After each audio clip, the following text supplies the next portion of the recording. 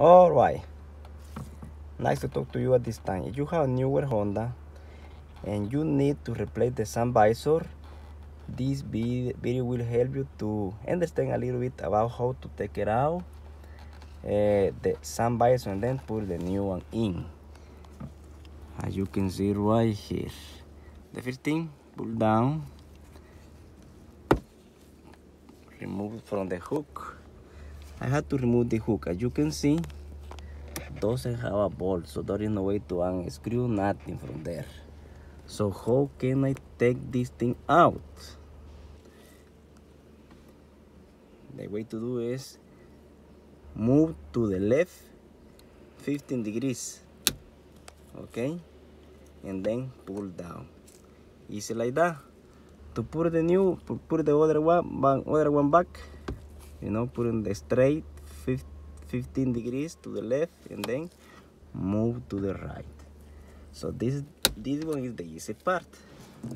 But this other one is a little hard to take it out.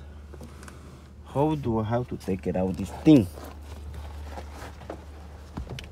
As you can see, right there is a towel, right? Black, no sorry, it's a white towel.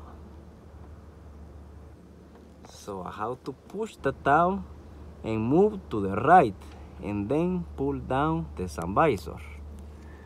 Let me show you. Okay, put the sun visor in this position.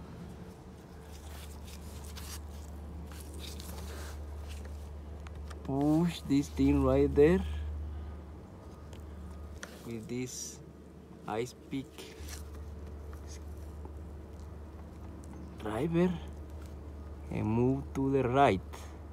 As you can see everything is moving. After you push it you can move to the right and then pull down.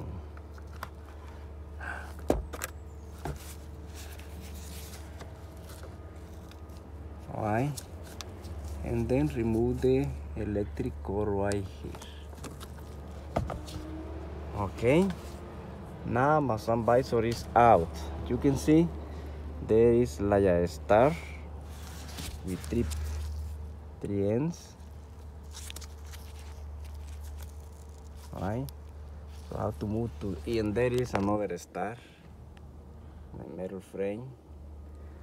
So that is the way to take it out. And put it back the same position. You have to move to the right the star put in there in you know and then move to the left. And this will going to hook up on this area right there. So that is the way to take it out. The sun visor on this newer honda. Thank you for watching our automotive diagnostics pro videos